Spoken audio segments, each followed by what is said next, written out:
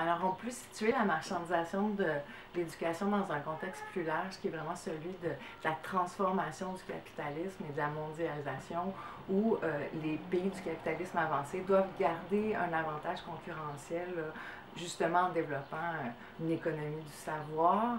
Et le savoir, dans ce contexte-là, devient un nouveau gisement de, de, de, richesse.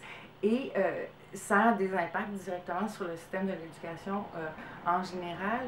Et ce qu'il faut voir, c'est qu'il n'y a pas juste une marchandisation directe, il y a aussi toute une série de mécanismes qui vont préparer cette marchandisation-là. On pense par exemple à l'assurance qualité ou au palmarès dans lesquels les universités doivent se classer pour attirer des investissements, des, des étudiants étrangers.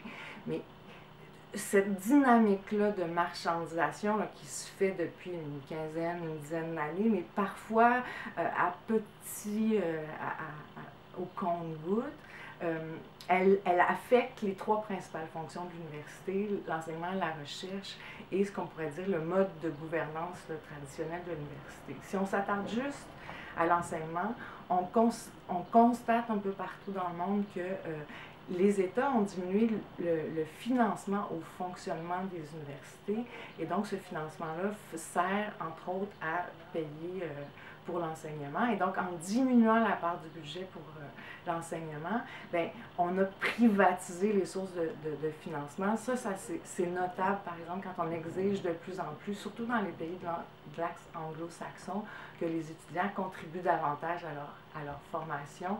Le Québec a résisté grâce à la de 2012 à cette dynamique-là, euh, mais euh, elle est vraiment une tendance qui s'inscrit dans la privatisation de, de, et la marchandisation de l'enseignement, et euh, elle a des effets pervers ben, elle transforme, si vous voulez, le sens de l'éducation parce qu'on présente les étudiants comme des investisseurs en capital humain, investissement qui est toujours rentable parce que euh, ça va leur permettre d'avoir une meilleure euh, job sur le marché du travail, ce qui est plus ou moins vrai quand on regarde, par exemple, les, les, taux de surqualification en emploi. Puis on pourrait continuer avec euh, la recherche, puis le mode de gouvernance. Ce sont plusieurs micro-phénomènes qui, mis ensemble, sont en train de de, propulser une mutation fondamentale de, de.